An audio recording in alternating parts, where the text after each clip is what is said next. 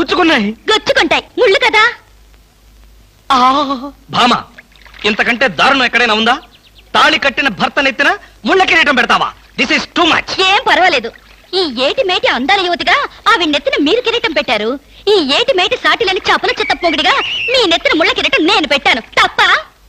నీ కసి నాకు అర్థమైంది భామ. అది బ్యూటీ క్వీనా? మేకలు చింపేసిన వాల్ పోస్టర్ లాగా ఫేసు అది అసలు దాని దగ్గరికి వెళ్తే మైదా కప్పు కొట్టింది తెలుసా? తీసేనా.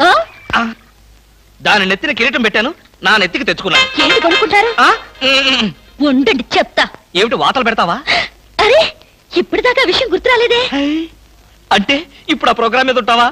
భామ ఎవరైనా చూస్తే బాగుండదు. ముళ్ళ కిరీటం తీసేనా? ఎవరైనా చూస్తేనే బాగుంటుంది. ఎవరైనా వచ్చేదాకా అలాగే కూర్చోండి. ఉమ్. యేసు ప్రభువా ఓ యేసు ప్రభువా. అమ్ము చచ్చాం. సమయానికి ఆకాశ రామయ్య గారు కూడా వచ్చాడు. వీడి నోట్లో పడితే టౌన్ అంతా పడినట్టే. ఏంటి విశేషాలు? ఆ? ముళ్ళ కిరీటం? చాలా గ్లామరస్గా ఉందయ్యా. మీ ఆవిడ పెట్టిందా? కాదు. ఎవరో పెట్టలేదు. నేనే పెట్టుకున్నాను. ఆ? దేనికి? దేనిక? ముళ్ళ థెరపీ అని. అంటే? ఉదయాన్నే లేచి ఈ ముళ్ళ కిరీటం పెట్టుకుని ఓ గంట పాటు ఎండలో కూర్చుంటే బీపీ షుగర్ హార్ట్ అటాక్ ఇలాంటి జబ్బులేమీ రావని ఆయుర్వేదంలో చెప్పారు. ఎవరు? నేనే. ఆహా. ఉమ్, నీకు అలాంటి రోగాలేం లేవే.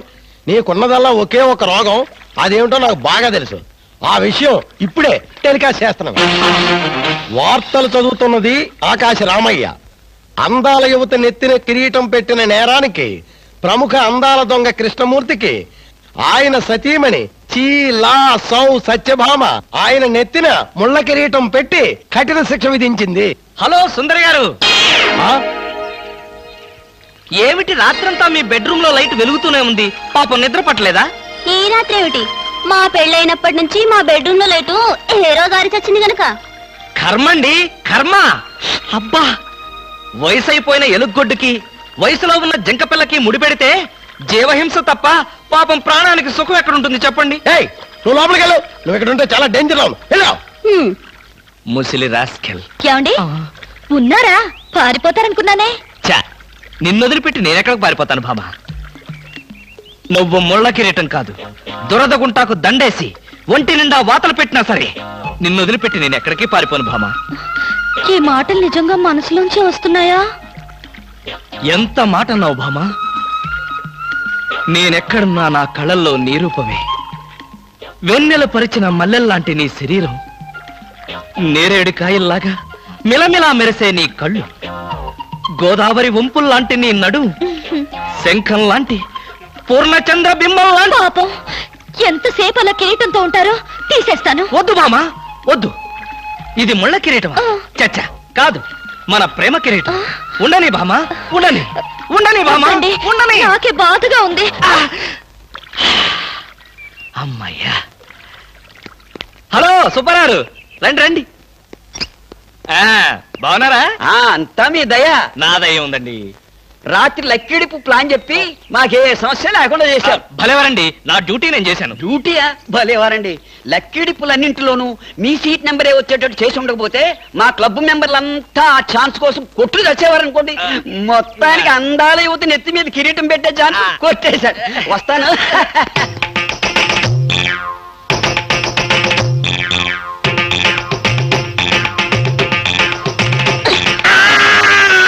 బాగా అర్థం చేసుకున్నాను కాబట్టి ఈ గేట్కి తాళం వేశాను. ఆ ఇదేం శిక్ష? నేను నిన్ను చూడకుండా నీతో మాట్లాడకుండా ఉండలేనని తెలీదా? రోజు ఈ మాట ఎంతమంత చెప్తున్నారు? ఆ, నేను చెప్పాను నీతో ఎవరైనా చెప్పారా? నాతో ఎవరు చెప్పలేదు? అయితే నేను కూడా ఎవరితో చెప్పలేదు. మరి బ్యూటీ క్వీన్కి ఎందుకు ఫోన్ చేశారు? ఆ! అనుకున్నా. నువ్వలా అనుకుంటావని అనుకున్నా. ఓసి పిచ్చి మొహమా? కావాలని నీకు ఫోన్ చేసి బ్యూటీ క్వీన్తో మాట్లాడినట్టుగా మాట్లాడి సరదాగా నిన్ను ఏడిపించాలనుకున్నా. ఏడిపించాలనుకున్నారో ఏడవాలనుకున్నారో దానింటికి పోయి ఏడవండి. పండి. బామా బామా బా.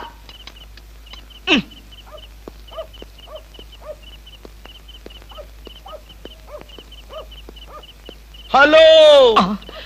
చచ్చాం. ఏంటయ్యా కృష్ణమూర్తి చల్లో అర్ధరాత్రి పూట ఎలా తిరుగుతున్నావు? ఆ, బాగా జలుబు చేస్తే రేపొద్దున హాయిగా విక్స్ రాసుకోవచ్చు కదా అని. ఆ నాకు తెలిసినవయ్యా మీ ఆవిడ మెడపట్టుకుని బయటికి తోస్తుంది కరెక్టేగా? ఆ, నువ్వు చూసావుగా? చూశాను కదా. మరైతే ఈ రాత్రికి మీ ఇంట్లో తలదాచుకోనా అమ్మో! ఏలపాటు రఘురావయ్య ముందు ఏలేస్తావా? చంపేస్తాను. ఆ ఏలంటే గుర్తొచ్చింది?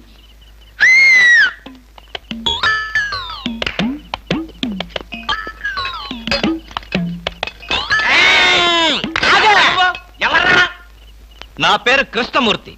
అంతకంటే ప్రస్తుతం డీటెయిల్స్ అనవసరం. అర్ధరాత్రి గేట్ ఎందుకు దూకుతున్నావు? చాలు చాలావయ్యా పెద్ద పోలీసులు. ఇది మా గేటు అది మా ఇల్లు. ఇది నా ఇష్టం నేను దూకుతా. గురుగారు వీడు మీకే ఎఫ్ఐఆర్ రాసేస్తున్నాడు. అదే చూస్తున్నా. స్టేషన్కి స్టేషన్ కా ఎందుకు రావాలి నేను స్టేషన్కి మాకు నీ మీద అనుమానంగా ఉంది. అనుమానమా? మా ఆవిడకి అనుమానం వచ్చి నన్ను బయటకు పంపింది. మీకు అనుమానం వచ్చి నన్ను లోపలికి తోద్దామనా? నేనెవరినో తెలుసా? పెద్ద ఆఫీసర్ని. కావాలంటే మా ఆవిడని పిలిచి దాన్ని అడుక్కోండి. గురుగారు ఈయన చూస్తుంటే ఆఫీసర్ లాగా ఉన్నాడండి. నోరు మీరా టై కట్టుకున్న ప్రతి ఏదో ఆఫీసర్. దొంగలు రకరకాల వేషాలు వేస్తారు. దొంగనా. నో నో నో నో దొంగవే. నేను దొంగన కాదు. డోంట్ టాక్ అయ్యో పోయ్, ఇంగ్లీష్లో మాట్లాడతాడు అరే see your hand. ఎంత చూస్తావ్? I say- ఈ ఎండ, అయ్యో, చూసిరా? ఎండ. అయ్యో. పోలీసు ఏమండి?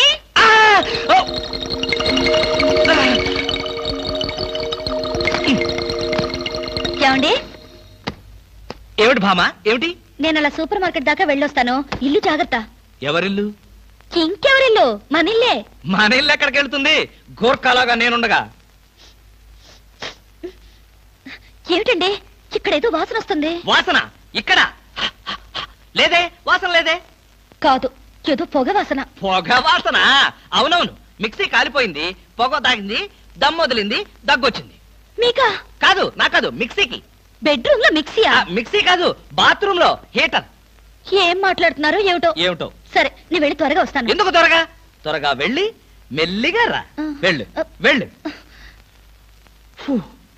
అమ్మయ్యా.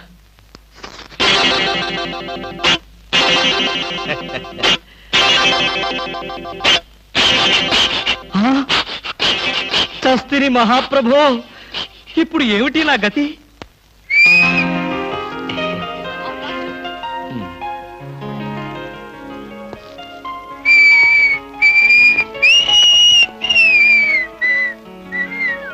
వాట్ సార్ ఏం కావాలి? ఆ, బనీన్లు. బనీన్లా? ఐ మీన్ ఆడవాళ్ళ బనీన్లు. ఓ బ్రాసరీలు కావాలా? అదేలేండి. మగవాణి కదా చెప్పడానికి కొంచెం సిగ్గుపడి వస్తున్నాను ఏ సైజ్ కావాలి సార్? ఆ సైజా?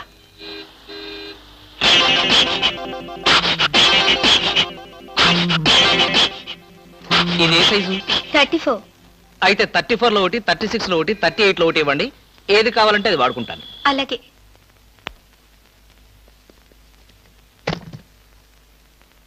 ఉమ్. ఎబ్బే మరీ చిన్నది.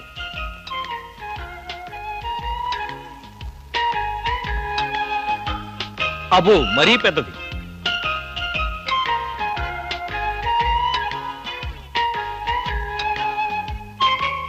కరెక్ట్. ఇంకా ఇదెందుకు?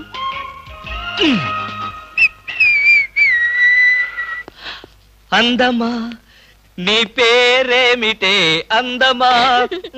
ఏమిటి ఆనందం? చెప్పను. చెప్పలేను. చెప్పుకోలేను. మేఘాన్ని చూసి నెమలి ఎందుకు ఆడుతుందో? సూపర్ మార్కెట్ నుంచి వచ్చిన నిన్ను చూసి నేను కూడా అందుకే ఆడుతున్నాను. బాగానే ఉంది మీ అల్లరి! అమ్మాయి. ఏమిటండి బాబాయ్ గారు? అదోలా ఉన్నారు? ఏముంది? ఏదో చెత్త పని చేసుంటాడు. చెప్పుకోలేక తలెత్తుకోలేక షూ వంక చూస్తూ తలదించుకుని నిలబడ్డాడు.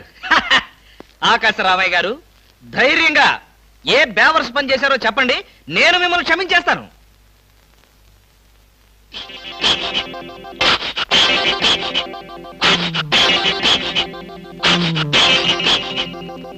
బాబాయ్ గారు ఏమిటి పిచ్చి పనులు? పిచ్చి పనులు చెత్త పనులు మీ ఆయన ఉండగా నేనెందుకు చేస్తానమ్మా? ఇది మీ ఇంట్లోంచే వచ్చి నా నెత్తిన పడింది. ఇది నాదే. బయటికి ఎవరేశారు?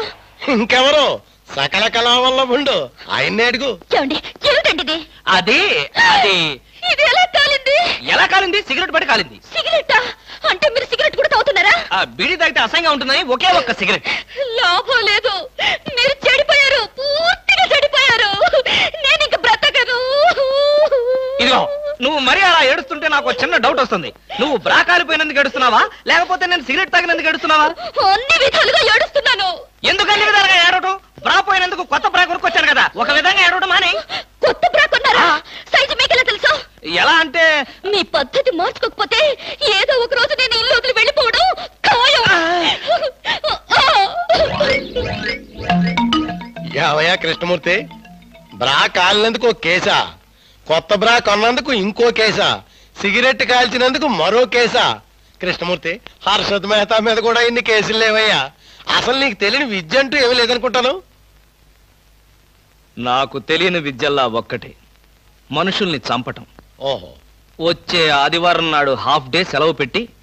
మిమ్మల్ని చంపేద్దాం అనుకుంటున్నాను. ఆ? నువ్వు హత్య చేస్తానన్నా నేను భయపడను.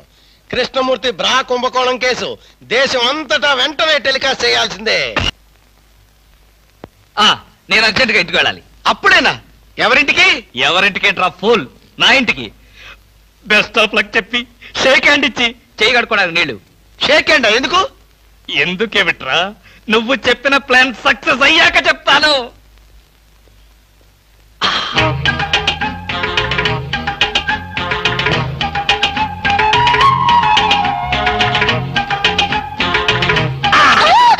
గౌరీ అరవకు నేనే. కంగారు పడకు. ఆ జిడ్డు మొహంది గుడికెళ్ళిందా? సమయం చూసుకునే వచ్చాను. ఈ అవకాశం కోసం ఎన్ని ప్లాన్లు వేశానో తెలుసా? ఏం ప్లాన్ నీ పొంద దాని చేత ఇంత మంచి చీర నీకు ఇప్పించాను. ఎందుకో తెలుసా? ఒకవేళ నిన్నిలా పట్టుకోవడం ఆవిడ వచ్చి చూసినా సరే నువ్వు అనుకునే దాన్ని పట్టుకున్నానని చెప్పడం కోసం ఎలా ఉంది నా ప్లాన్?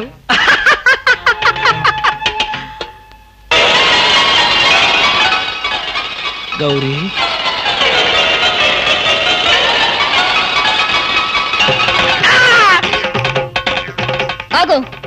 వెంటనే నువ్వు మా ఇంట్లో పని మానే.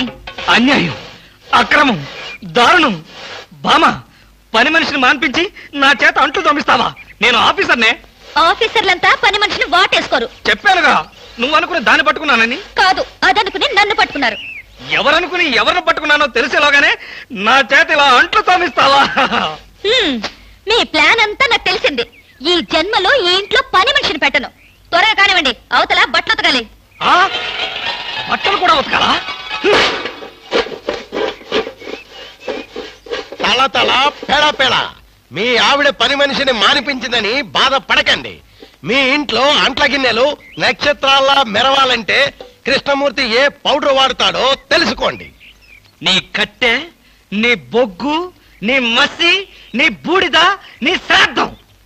విన్నారుగా?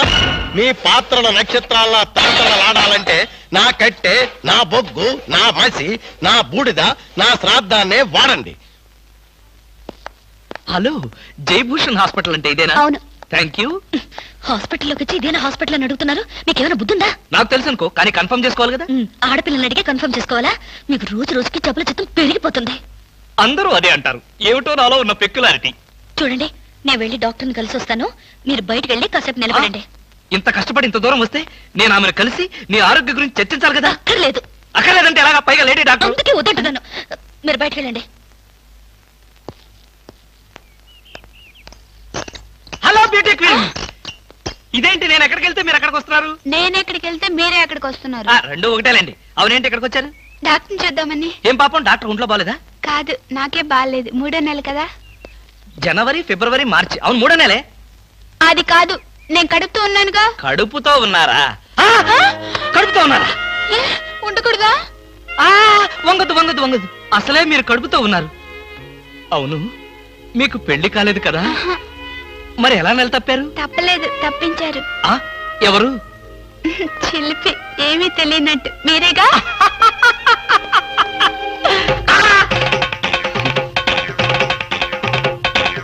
ఎవరా అమ్మాయి పిచ్చి పిచ్చిగా మాట్లాడుతుంది? నీకు తెలుసా? అంటే మీకు తెలియదా? ఆ ఆ బ్యూటీ క్వీన్ లా ఉంది కదూ? ఎప్పుడో బ్యూటీ కాంటెస్ట్ అప్పుడు చూశాను. ఆ భామా భామా. ఇదిగో వెయ్యి రూపాయలు. ఐదు వందలు వడ్డీ అవుద్ది. ఉమ్. టైరో టైరో టైరో. ఇక్కడ ఆల్ ఇండియా అప్పులో ఫేమ్ సద్గురు అంటే ఎవరు? కానలేదు కానండి సద్గురు నేనేనండి. మీరెవరు బాబు? నేను తెలీదా. షేక్ ముస్తాక్ జబ్బర్ బబ్బర్.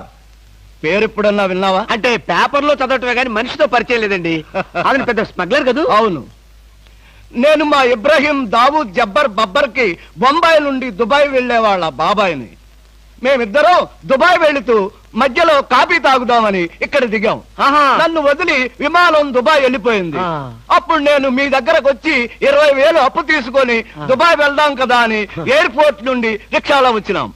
నాకంతా ఏదో అయోమయంగా ఉందండి. నాకు అలాగే ఉంది. కానీ వస్తువు లేకుండా అప్పిచ్చే అలవాటు నాకు లేదే. అందుకేగా కాస్త పొడుగైన దీన్ని తీసుకొచ్చాం. ఏంటది? రోకలే? కాదు.